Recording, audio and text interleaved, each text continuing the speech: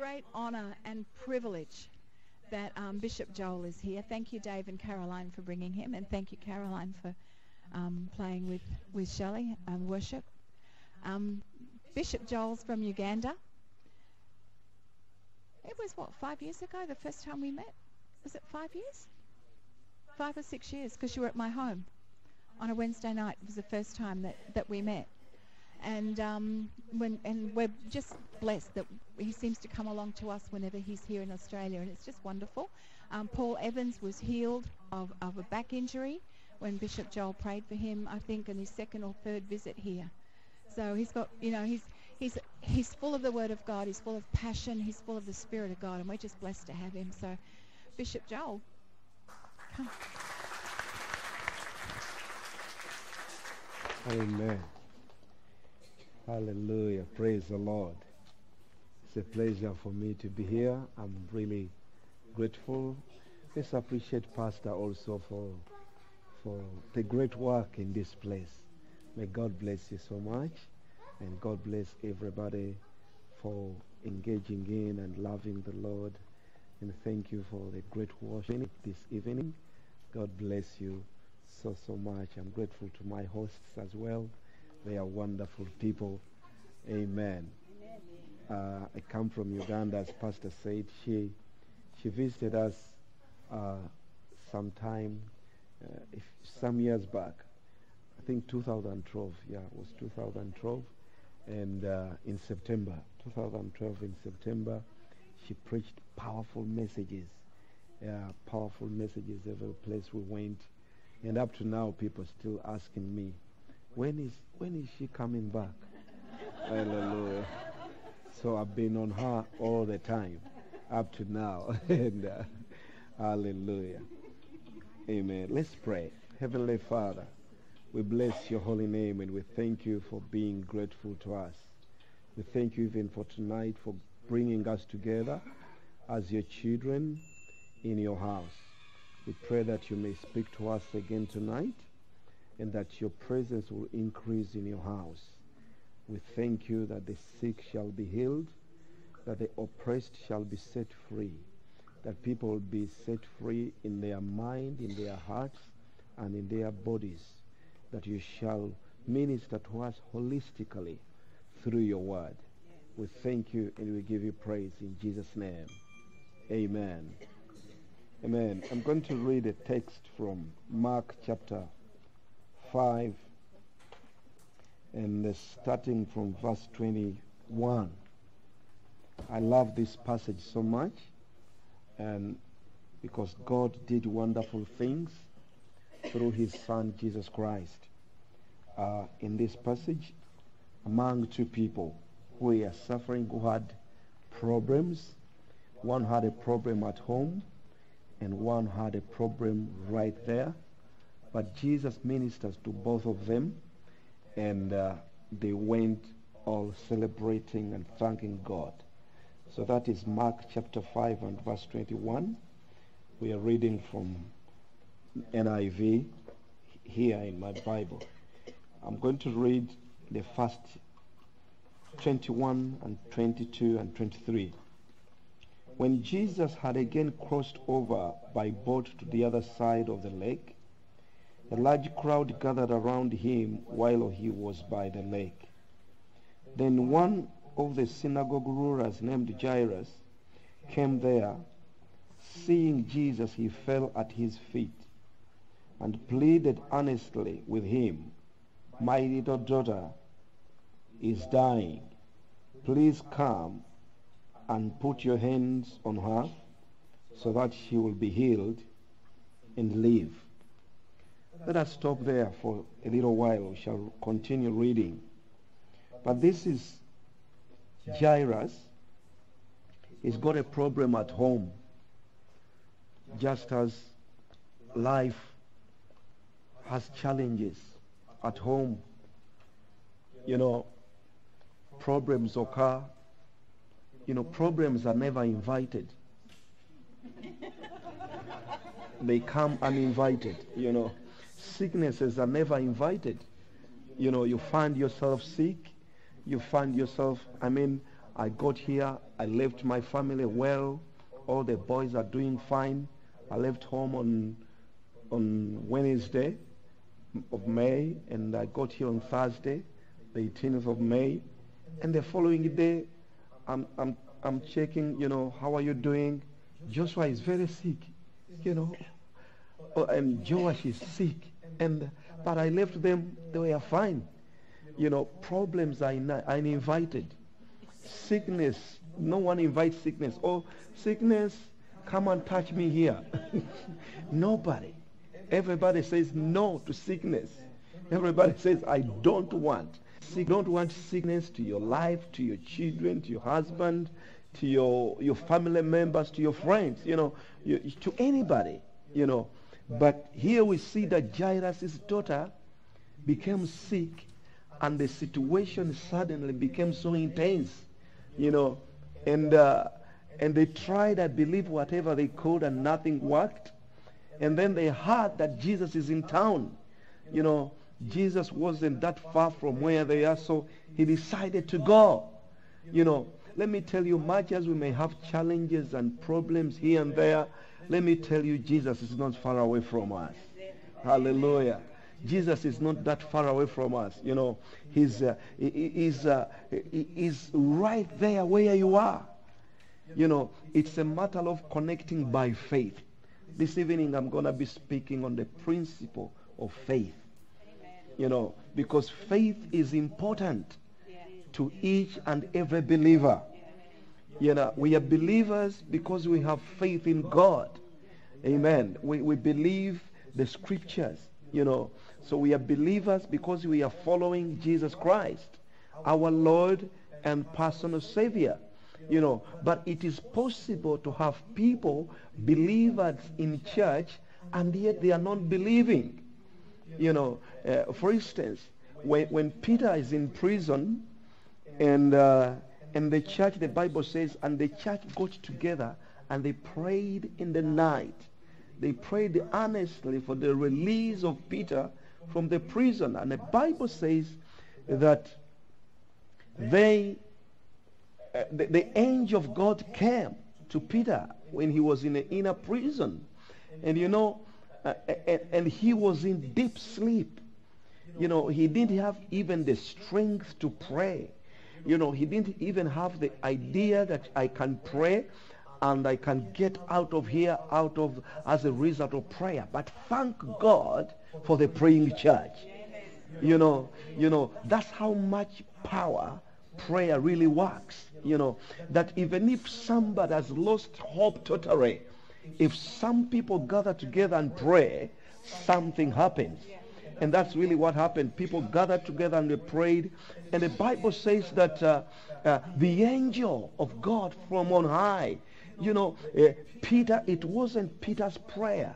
You know, he's a great apostle. We love him. He's a mighty man of God. I mean, when he's walking through here, all the lame on this side walk.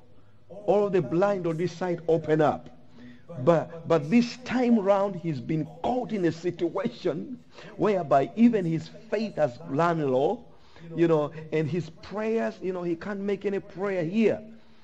And the Bible says that the angel came and hit him in the side. You know, he was in such deep sleep that even the presence of the angel couldn't wake him up. How about that? You know, even the, can you imagine the presence of the angel in your house, in your room, for the angel to show up in your room, and, and you can't wake up because, because the angel carries a presence of God. You know, but still Peter had lost hope. You know why? Because James, his fellow apostle, had been beheaded you know, and there was no hope. The guy that had arrested him had prominent authority, Herod. You know, so you couldn't just come out of his hands anyhow. And so he had lost hope, and and so the angel had to hit him in the side, bah. And then he woke up, and the angel said, "Follow me," and he follows him. And then they go out of the prison and they go out, you know, and then they reach somewhere and Peter is thinking that he's seeing a vision. And it wasn't, it was a vision, it was a reality. And when the angel left him, that's when he only realized that he's not seeing a dream, he's in reality. And then the Bible says, and he went to the people where they were praying. You know, he went right there. And then he knocked on the door. And there come a girl was on the doorway and uh, she opened the door and here Peter was. And excited as she was, she ran back inside among the intercessors. the believing intercessors. the believing church members. And they are shakatarababa. Release him, oh God. Send your angels from heaven and release him now. In the name of Jesus of Nazareth. I see him coming out. Release him, God. They were African prayer intercessors, you know. They prayed African. Yes, my God. You know. Yeah, he's coming out. Yeah, I pull him out of the prison. they went African. You know. And then the angel say, I mean the girl says, stop praying. Peter is here. They say, you are crazy. Stop it. Believers. God can heal your cancer. Really? You don't have them in Australia. We have many in Africa. God will, God will fix your problem. Don't worry. Oh, maybe. but every ch- Sunday is in church. Is a believer? Yes. Is he believing? no.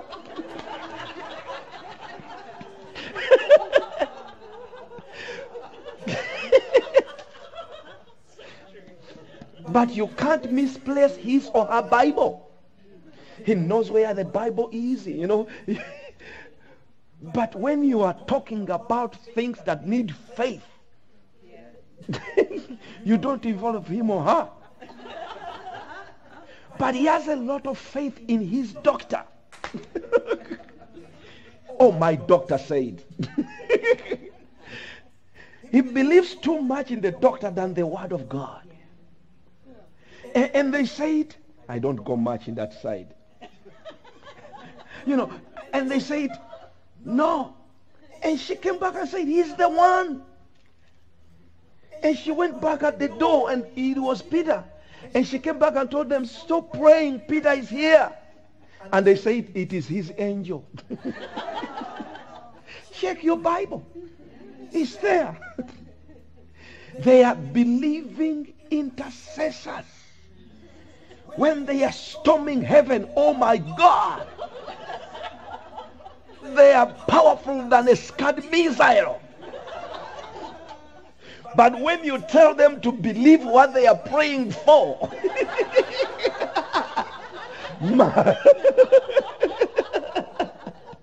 they don't believe it. You know, so faith is a very important principle in the church today.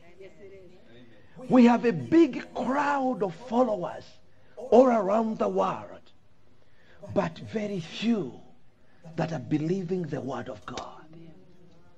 It reminds me, I mentioned this somewhere eh, else, even Karen and David had me. You know, uh, this preacher in Af in Uganda has a very large church. She's a woman preacher. And she's preaching this Sunday Thousands of people are listening and shouting, yeah! You know, in Africa, we can even get those chairs and lift them up. shouting, Amen! And then we say, preach it, Pastor!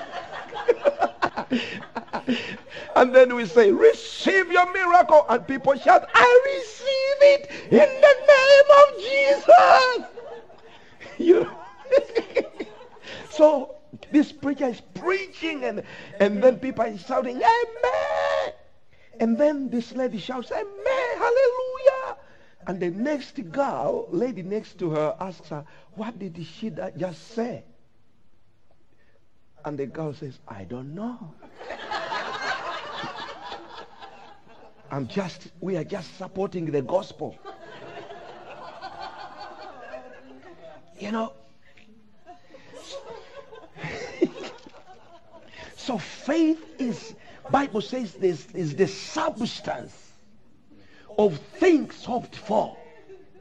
And if you were to explain, to find what the word substance means, go in your dictionary and dig out just the word substance.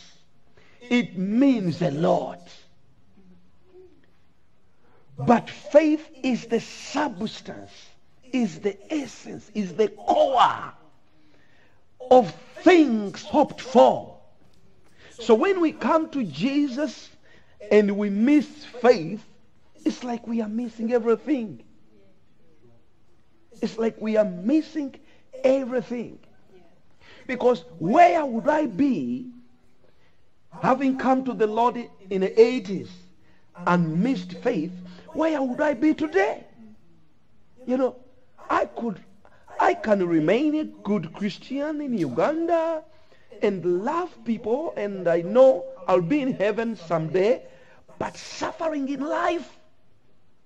Are you hearing what I'm saying? Yes, sometimes we can suffer for Christ, but with faith, we can overcome challenges. We can attain victory.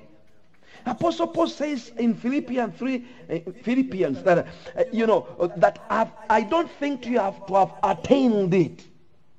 But one thing I do is that I press on towards the goal so that I can attain it that which Christ Jesus attained for me on the cross of Calvary. How can you do that? How can you press on without faith? You do it by faith. So I'm encouraging every church member today in the church, let's read the scriptures. Because the Bible says that faith comes by hearing and hearing by the word of God hearing by the word of God. The word of God creates faith in us, in our lives.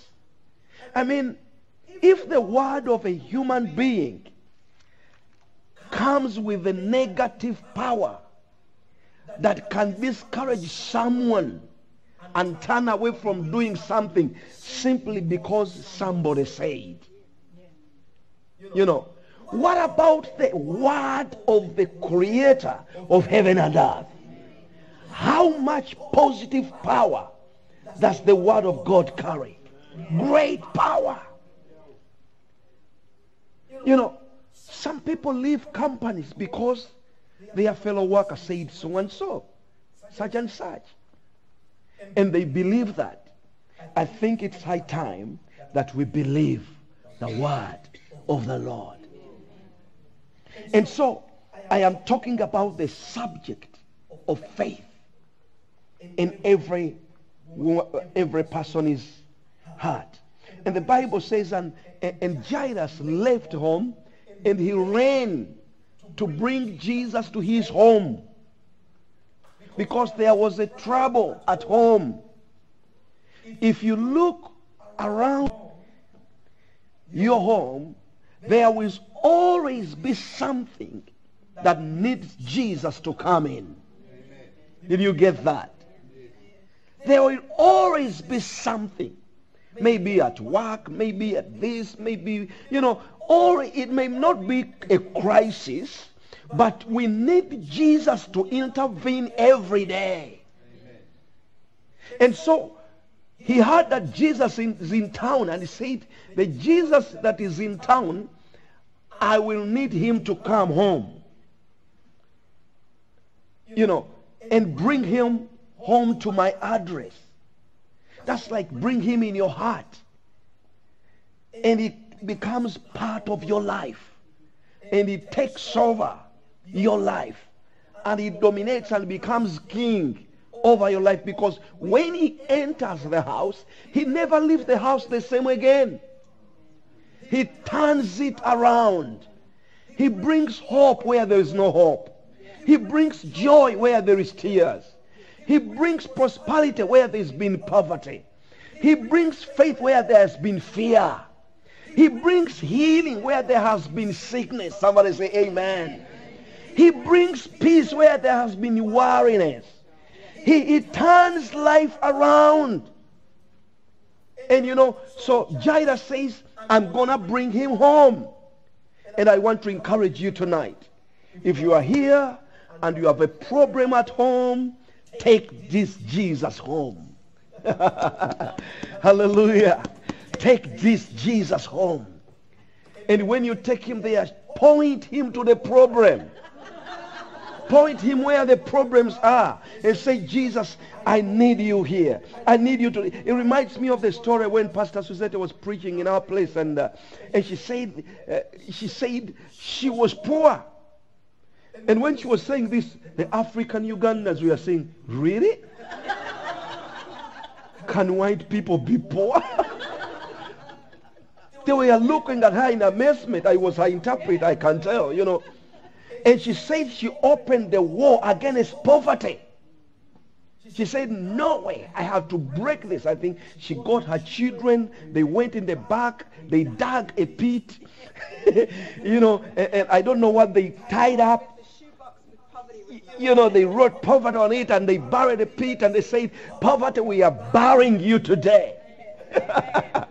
that is an act of faith. And since that time, their life turned around. You need to do something. Jairus did not sit home and say, okay, daughter, you sleep there on the, your deathbed. I am sitting here. We are waiting for we are waiting for Jesus to come. No. You need to do something. Bible says that faith without action is what? Is dead. You need to do something about the situation, about the challenge. You need to make an action. You read the word of God. You know, tell the pastor about it. Tell somebody, what can I do? Give me some advice. You know, make a step ahead. And you'll see the move of God. You know, Jesus said to these to these ten, you know, when you read Luke chapter 17, you know, the ten lepers who came, you know, Jesus saw them, they saw Jesus from a distance, and they cried out to him and said, Jesus, have mercy upon us. And, and Jesus from a distance, he told them, go and show yourselves to the high priest and offer the sacrifice that is commanded you by Moses. And they did that. And the Bible says, as they were going, they were cleansed. Did you get that? As they were going, they acted upon the word of Jesus. When Jesus spoke the word, they didn't stay. They didn't say, what are you saying? We needed a healing right here. Just do it here. No, they moved and it says, and as they were going, there are some miracles, there are some glory, there is some breakthrough, there is some victory which you will never see not until you have started going. Somebody say amen. amen. You need to start the going. And while they were going, they were cleansed. How I love that. I come from a very place, very poor place in Nazigo. Did I take you to my dad? I think I didn't. You know, my home village. I took you. Good. You know, you know, the, we we were poor that the poorest of the poor in our village called us poor. And if the poorest of your village call you poor, you are poor indeed. And that's where I come from. I say to people that we had enough poverty for us and it was overflowing that we could lend it out. And when we lend out our poverty, we say, it's okay, you may not bring it back. We have enough anyway. My dad had a bicycle you know, I never saw any vehicle turning to our home in my whole life when I was there. He had a bicycle. We thought it was the bones of an animal jointed together. It had only one pedal that you could turn it like this and I could take it uphill, uphill, uphill, uphill, as if I'm crippled. And people come out of their houses and they are shouting, Kakembo is taking that uphill. Such a poverty.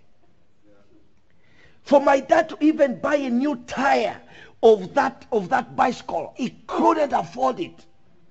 He could work for the used tires, you know, from other people, the tired ones. He couldn't afford to buy a new wheel. But when I received Jesus Christ of Nazareth, I said enough is enough to poverty. I said something must happen in my life. Somebody shout hallelujah to the Lamb of God. And then I shouted, Jesus, son of David, have mercy upon me. And he said unto me, go and show yourself to America. Go and show yourself to Australia. Go. And as I was going, I was cleansed. Somebody Hallelujah to the Lamb of God. You've got to do something about it. you know, in 1984, when I came to Jesus, I, I got back to my home village, and there are some people that we came to the Lord together around the same time, and there are nothing changing their life. I mean, they are saved, they are born again, but somewhere, somehow, they never connected in the real power. You get the point? There is something they never caught. The power of faith changes your life forever. I normally say that faith presents you with something. Faith will never present you empty handed. At least you will give a song. Oh, you will sing a song of praise. You will release an anointing. You know, you cannot walk by faith and you are, have nothing. There is something on your life. There is something you carry. I tell you, by faith, you are carrying something. Even as I speak right now, some people's faith is raising up to do something in the mighty name of Jesus of Nazareth.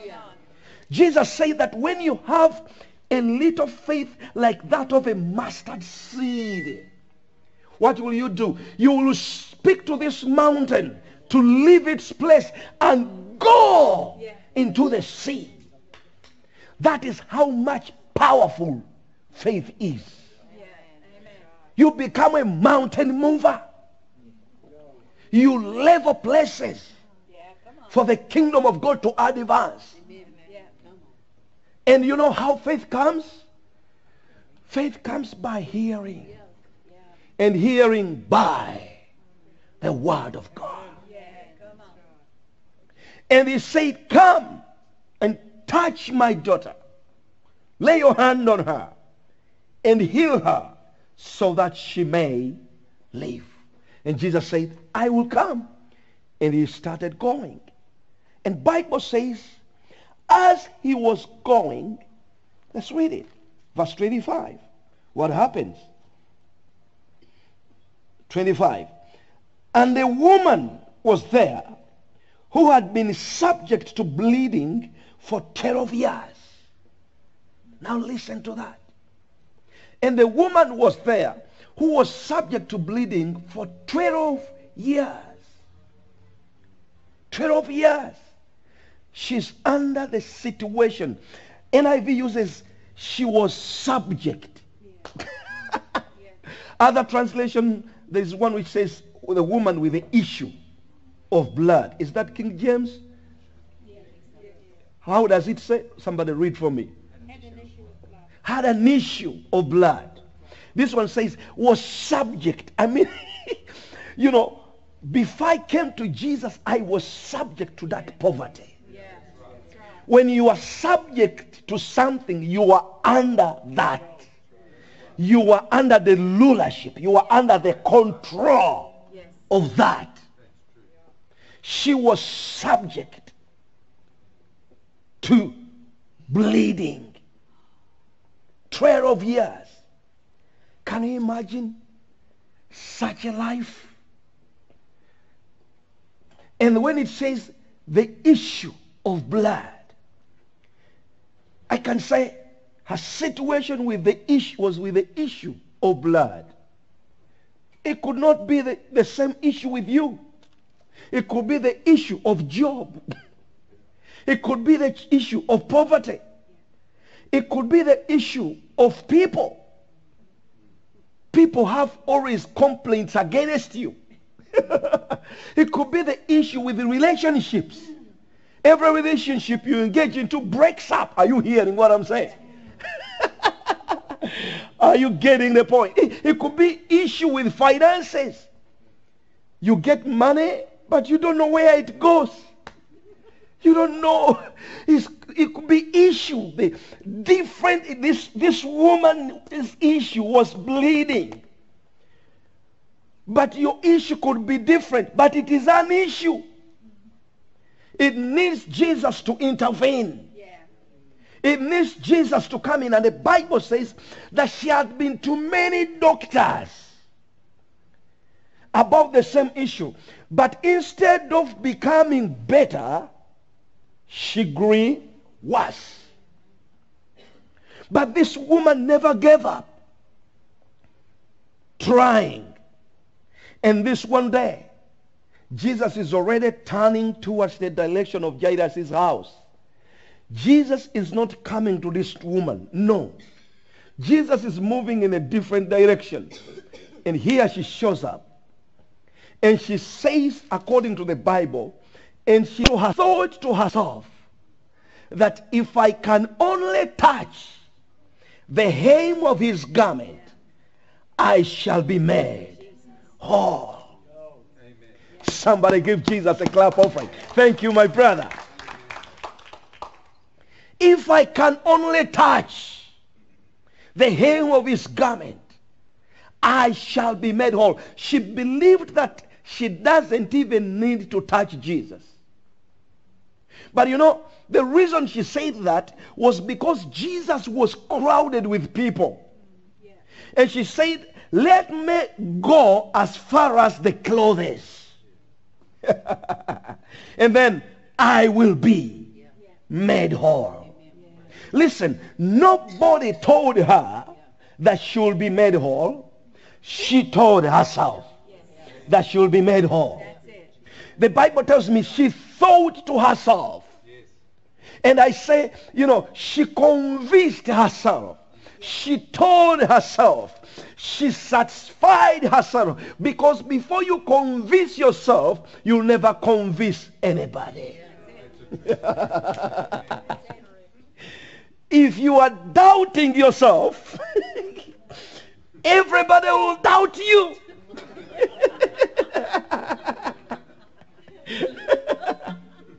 But if you are convinced and you are convinced and you know and you know that you are a child of God, born of the blood of Jesus, born of the word and the spirit of God, and you are going to heaven, you will say, I am a child of God, I am a royal priesthood, I am a, a chosen generation, I am a conqueror, I am a winner, I am not going to die, I'm going to live and declare the goodness of the Lord in the land of the living. I am a mountain mover. I am a shaker in the kingdom of God.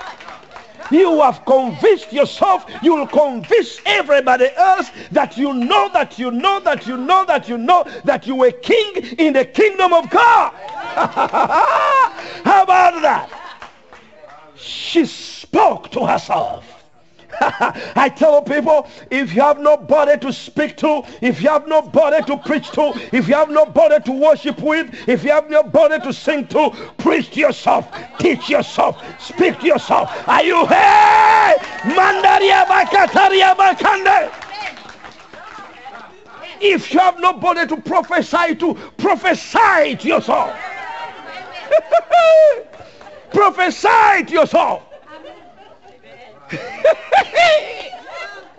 And she convinced herself and she thought to herself that if I can touch the hem of his garment, it reminds me of the story, of my own story.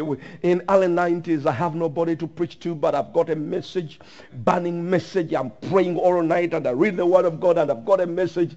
And in the church, they are not allowing me to preach yet. But what I do, I'm not complaining. So I'm, uh, I'm digging in people's chambers with a small hoe. You know a hoe? you know, digging, digging. I'm digging for money so that I can, you know, to earn my living. You know, I'm digging, I'm digging, I'm digging. And while I'm digging, there is a scripture boiling in my spirit. Luke chapter 5 and verse 17. And Jesus was in the house and the power of God was present to heal the sick. Ah, my God. And I say, where are the people for me to preach to? And the people are not there. But there is a bush, there is a jungle. And I say, I put the hoe down and I say, you are not a jungle anymore. You are not a bush anymore. You are men and women. You are boys and girls you are now people. I declare the word of God to you in the name of Jesus of Nazareth. And I preach and I make an altar call. I bring people to the Lord. And then I say, you ushers write their names and then I call the sick to come the people with epilepsy come forward the lame come and I release the healing power in the name of Jesus of Nazareth I to propose to preach to I preach to my bush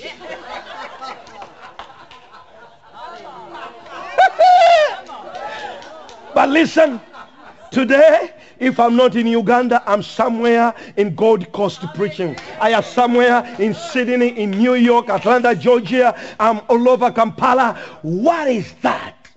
And she spoke to herself. Faith, it does not only speak to others. Faith speaks to yourself. What about that psalm? You know, I'm not good at quoting scriptures, but I know how to, to mention, you know, I know that they are there somewhere in the Bible, you know. and then somebody say, and then you a bishop? Yes, by God's grace I am.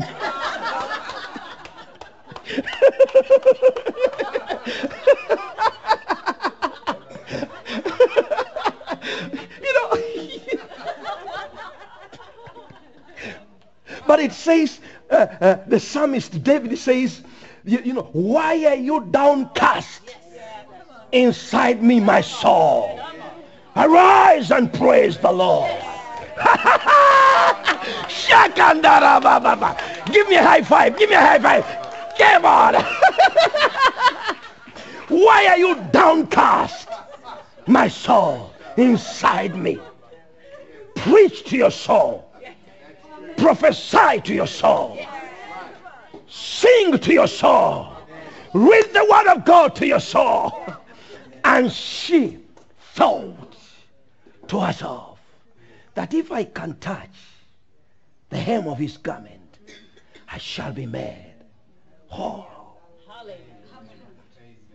And you know what? She began the move. Shukurabaya she downloaded that thought. Have you ever been on a computer and you got a, and you got an email which has got an attachment and then you have to download. and you have to download.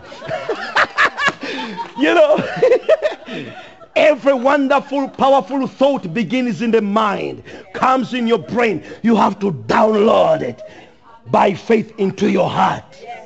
Because faith doesn't work, operate in the mind, in your brain. Faith operates in your heart.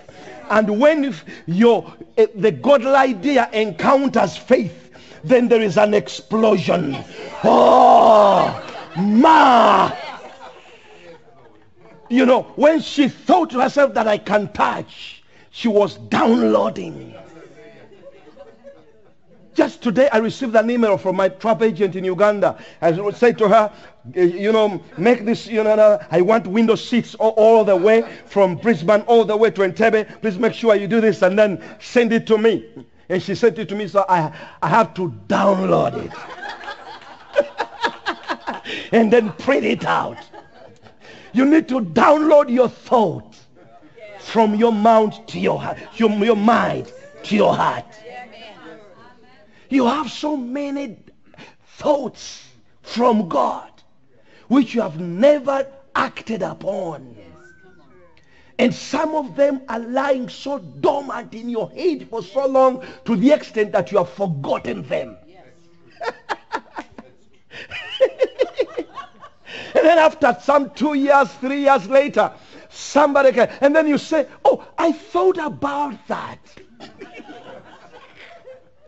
and she downloaded it. And then she began to move. And then we are reading that the woman, she pressed forward. But you know what? According to Bishop Joel University, she wasn't a woman walking. She was a thought walking. Are you getting the point? She was a walking thought. no stop could stop this woman. She was a walking thought. And she started moving and pulling people and pressing on and pressing on, pressing on.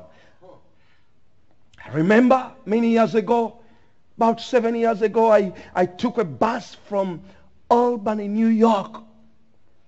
That is the state capital for New York. You know, all the way to Tucson, Arizona. Three days and nights. Shakataya. I'm enjoying America. from one bus to another, from one bus to another. I'm pulling this bag and I'm pulling this one and I'm going. And sometimes I'm limping, but I'm in America anyway. What are you doing, Joel, in America on these buses? I have a thought. I am a walking thought. I have something to do at home. I have a dream to touch the nations of the world with the gospel of the kingdom of God. I have a dream to serve God worldwide. I am a vision pursuer. Yes. And I lost my bag. Somewhere between Dallas and Arizona, my bag was no more one of them.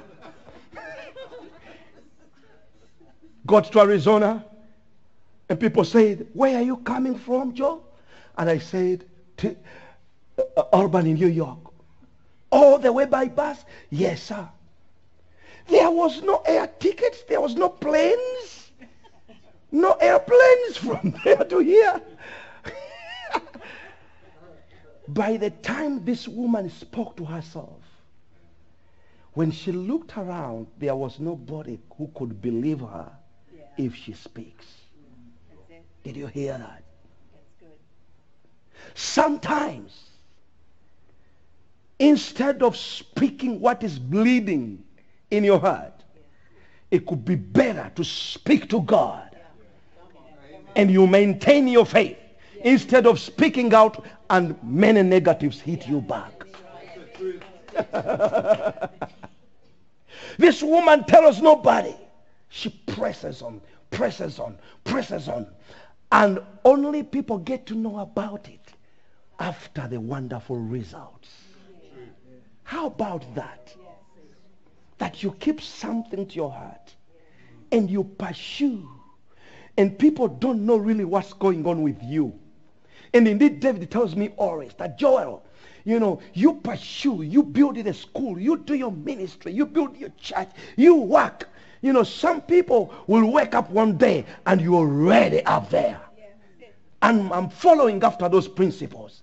And it's working already in my life. And she pressed and she touched the garment of Jesus. And the Bible says, and power came out of the garment of Jesus.